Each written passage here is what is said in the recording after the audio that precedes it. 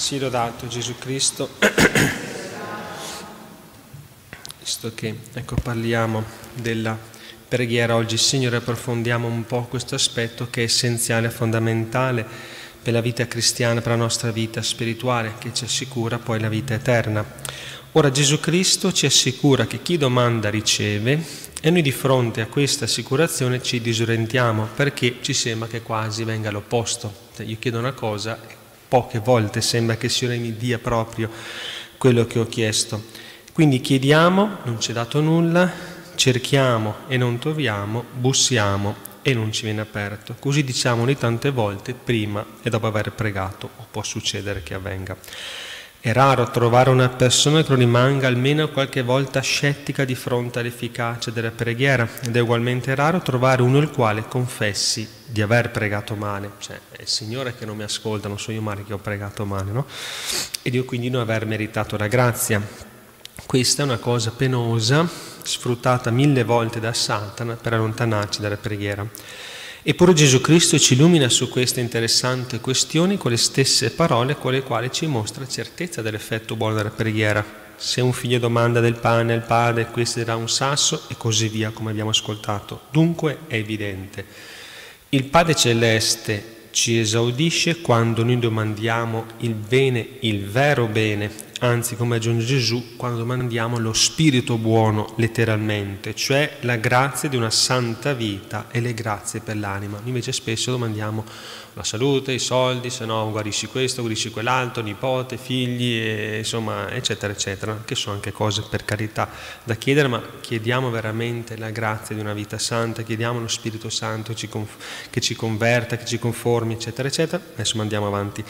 Il Redentore non poteva contraddirsi se disse una volta che bisognava cercare il regno di Dio e la sua giustizia perché il resto ci sarebbe dato in sovrappiù, non poteva promettere l'efficacia alle preghiere fatte unicamente in vista dei beni temporali. Noi poi in realtà siamo figli che un po' incoscienti, a volte ingrati, che domandiamo il sasso, il serpente, lo scorpione al luogo del pane e del pesce dell'uovo. E se il padre ascolta il figlio che gli domanda il bene, non ascolta proprio per bontà ed amore colui che gli domanda il male. L'espressione di Gesù quindi può capovolgersi.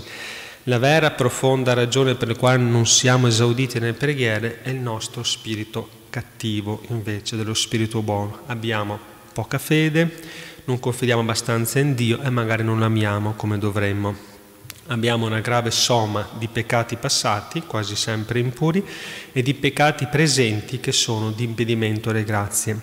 Manchiamo di carità verso il prossimo spesso e non pensiamo che Dio ci tratta come li trattiamo gli altri. Nella misura in cui misurate, sarà voi misurate in cambio, giusto? Ci dice il Signore, mi sembra che sia Vangelo Matteo capitolo 7 manchiamo di semplicità, di abbandono in Dio, in realtà quando domandiamo abbiamo sempre qualche volta un certo pregiudizio contro di Lui. Preghiamo ma senza uscire dall'ambito della nostra miseria e siamo come aeroplani che rombono ma non si sollevano dal suolo, come ruote che girano ma la macchina ecco, non va avanti. Quindi parliamo molto con noi stessi, però amare con Dio poco, meno, e diciamo parole e distrazioni che la noia rendono anche vuote di significato. Se parlassimo invece veramente a Dio, questo dialogo amoroso e confidente con Dio come hanno fatto i santi, vedremo anche, non solo essere ascoltando, vedremo anche i miracoli delle nostre preghiere, i santi ce lo confermano. Quindi invece di dire che la nostra orazione è vana, dovremmo piuttosto riconoscere con umiltà che noi non chiediamo, non cerchiamo e non bussiamo si chiede con insistenza di figli, si cerca con la fiducia di amici, si bussa con l'umiltà di sudditi e si va a Dio con la certezza della sua misericordia. Ecco, non si può prescindere da questo. Quindi dobbiamo credere che Egli può efficacemente, completamente, che Lui può disporre tutto con sapienza amore e vuole il nostro vero bene. Quindi se noi prendiamo da questa posizione dell'anima nostra, la nostra preghiera viene mutilata, diciamo viene resa vana. Quindi Quello che nuoce alla nostra preghiera è questo paradosso pratico, pretendere di andare a Dio rimanendo in noi. Questa è una cosa molto sottile, no? Don Dolindo, Ruoto che ce la spiegano.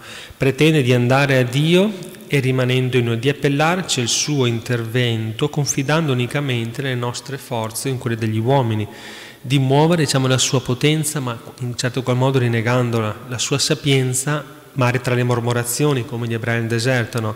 e il suo amore magari quasi col cuncandolo. Quindi quante volte noi preghiamo con questo spirito, quello spirito, non lo spirito buono, lo spirito tra virgolette cattivo. Quindi se Gesù Cristo del resto ci dice con tanta certezza che chi prega esaudito, quando non siamo esauditi dovremmo dire con altrettanta certezza che o non abbiamo pregato o abbiamo pregato male.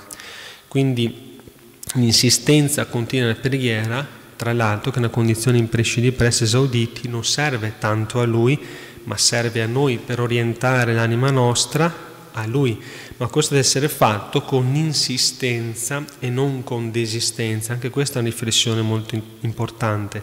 Noi abbiamo infatti l'abitudine di cominciare a pregare con entusiasmo naturale che possiamo scambiare per fede, con una certa presunzione che magari crediamo speranza e con un po' di fervore sensibile che stimiamo carità, amore. A misura che passano i giorni decadono queste disposizioni e quindi all'entusiasmo subentra la stanchezza, alla speranza la fiducia, al fervore la tipidezza. La preghiera mano a mano si spegne come un lucignolo senza olio, fumiga nelle impazienze e muove tante volte in atti di vera e propria miscredenza. Ora noi domandiamo invece a Dio dobbiamo chiedere lo Spirito buono, che è lo Spirito Santo, che è frutto proprio dell'infusione dello Spirito Santo in noi e cerchiamo di orientare Lui tutta la nostra vita. Non si può pregare solo con la bocca o debolmente col cuore, tutta l'anima nostra dovrebbe, deve pregare anche tutto il nostro essere, rimanendo fedele certamente ai nostri doveri, ma cercando il regno di Dio e la sua giustizia sopra tutte le altre cose. Noi dobbiamo guardare alla vita eterna, soprattutto ecco il paradiso, poiché la massima parte delle nostre preghiere Dio le ascolta in ordine a questa meta suprema. Questo un po', diciamo, il segreto, no? Condizione che sia la sua volontà, perché Dio guarda per l'eternità più che per le cose temporali. Ora nel cielo vedremo i ricami del suo amore e ci accorgeremo che nessuna preghiera è stata perduta, anche quelle che magari abbiamo pregato un po' male così, ma Lui ce l'ha ci ha donato le sue grazie in modo particolare. Per esempio, noi cerchiamo la provvidenza invece abbiamo la povertà perché è quella che veramente ci giova. Cerchiamo un posto di lavoro, magari rimaniamo disoccupati perché il posto come lo cerchi tu potrebbe portarti fuori strada. Cerchiamo la gloria nostra e abbiamo l'umiliazione invece perché è questa che ci porta poi alla vera gloria del paradiso. Quindi qua, eccetera, eccetera. Quante di queste false posizioni Dio raddrizza. E quanto dobbiamo essergli grati nelle stesse delusioni che crediamo avere quanto preghiamo. Santa Resina, io prego il Signore, se mi esaudisce bene, se mi esaudisce bene lo stesso perché ho fiducia totale in Lui, che quello mi dà o mi non dà o non mi dà è perché è sempre secondo il suo amore, quindi io non mi smuovo, rimango sempre nella pace perché so, ho fiducia totale in Lui, quindi se chiedo una cosa, se è per il mio bene me la dà, se no Ecco, vuol dire che non è, o non, la, non è ancora il tempo di darmela, o magari proprio quello che chiedo non è per il mio vero bene. e poi l'ultima cosa, ecco, l'ultima difficoltà. A volte noi domandiamo veramente Dio, proprio lo Spirito buono, lo Spirito Santo, chiediamo la virtù e la perfezione e ci pare di non essere esauditi. esauditi. Ora anche qui fallisce la parola di Gesù, rispondiamo prima di tutto, fa un esempio no, con un paragone, no? La pompa aspirante toglie l'acqua dalla stiva, ma il marinaio pompa e la stiva è tuttora legata. Quindi è vana la pompa? No, è appena sufficiente a controbilanciare la falla e l'acqua che per essa irrompe nella stiva. Altro esempio, la spazzola pulisce l'abito, ma se l'abito è ingrassato e infangato non basta una passatina, occorre un lavoro che richiede del tempo. Il fuoco riscalda l'acqua, sì, ma se invece dell'acqua c'è il ghiaccio, un chilogrammo di combustibile è appena sufficiente a scioglierlo, però l'acqua rimane sempre fredda o appena, appena, appena tiepida. Tirando la corda si apre l'imposta, ma se c'è una molla di compressione al battente, l'imposta si chiude. Esempi semplici però pratici per capire. Quindi dice, cosa si intende? Noi desideriamo lo spirito buono, ma non ponderiamo la cattiveria che lo controbilancia. Vogliamo purificarci, questo è un po' da sottolineare, ma rifugiamo da quei mezzi radicali ed energici che ci fanno veramente bene. Vogliamo il fervore ma non misuriamo lo spessore del nostro genio interiore. Quindi in pratica vorremmo una perfezione ad uso e consumo nostro senza rinunce e senza abnegazioni. Vogliamo medicare noi le nostre piaghe senza cauterizzanti, ma col balsamo che carezza l'orgoglio e la natura. Vogliamo dirci, anche questa interessante, vogliamo dirci noi le insolenze, ah io sono così, sono colà, sono colà, ma non tolleriamo che ce le dicano gli altri, neppure con la riduzione del 99% su quelle che diciamo noi, giusto? Vogliamo insomma ascendere sì, ma rimanendo dove siamo e vorremmo portare con noi tutto il nostro bagaglio. La preghiera quindi non è vana, ma è come la pompa che combatte contro le falle. Produce il frutto, ma esso non è sensibile finché non ci sia un dislivello, spiritualmente parlando, tra natura e grazia. Chissà dove andrebbero certe anime se non pregassero e chissà dove le porterebbe la loro natura se lo domandassero a Dio anche con queste forti e percentuali riduzioni, lo spirito buono. Quanti voli veri di santità farebbe un'anima se domandando lo Spirito buono si abbandonasse veramente all'azione della grazia? La natura a volte ci inganna e noi pur pregando per essere perfetti abbiamo delle zone dello Spirito nelle quali non vogliamo che vi penetri la grazia. Facciamo come Giona, ci imbarchiamo su navi in tempesta e fuggiamo dalla faccia di Dio o dormiamo sulle nostre ripulse divina volontà e ci lamentiamo di non progredire se sapessimo gettarci in pieno nell'oceano del divino amore, dove ci porterebbe la sua grazia e di quale santità saremo capaci. Quindi preghiamo, preghiamo, non stanchiamoci di pregare, ma lasciamo a Dio la cura di esaudirci come e quando Egli crede. Preghiamo anche per le cose temporali, certamente, lasciando però a Lui la cura di misurarci nella razione secondo ciò che ci è utile per la vita eterna e persuadiamoci che Dio ci è Padre, che qualunque sia la nostra preghiera non può che darci il bene. Chiudo con un esempio proprio di San Giovanni Paolo II riguardo anche la, la, la rassegnazione divina volontà alla volontà di Dio, ecco nella preghiera. Lui scrive così, se lo trovo. ecco, Giovanni, il Papa Giovanni Paolo II racconta, dopo termino, di come rimase impressionato dall'allegria di un uomo incontrato in ospedale di Varsavia dopo l'insurrezione di quella città durante la seconda guerra mondiale. Era gravemente ferito e tuttavia la sua straordinaria felicità era palese.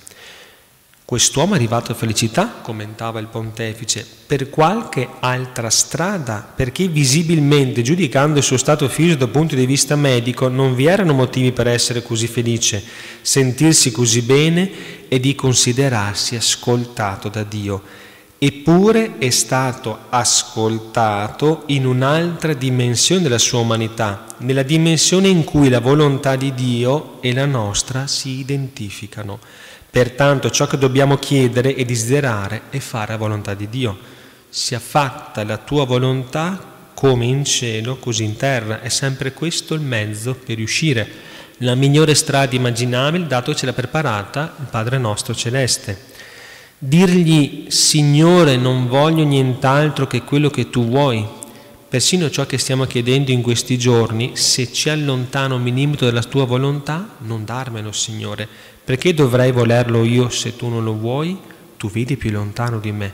Sia fatta dunque la tua volontà. Allora chiediamo a Maria Santissima, ecco, sostegno della nostra fede che a volte è debole e vagillante, che per la sua intercessione, in quanto mediatrice delle grazie, possa irrobustirla, possa darci questa confidenza che aveva totale lei di essere ascoltata da Dio perché lei sapeva che tutto il suo cuore era rivolto a Lui, quindi tutto quello che chiedeva a Dio, se avesse ascoltato, lei chiedeva sempre il bene, il suo bene, chiedeva sempre la sua volontà. Se noi chiediamo sempre la, la sua volontà, allora saremo sempre ascoltati. Ora, a questo, tutto questo, fidiamo il suo cuore immacolato. Siano lodati Gesù e Maria.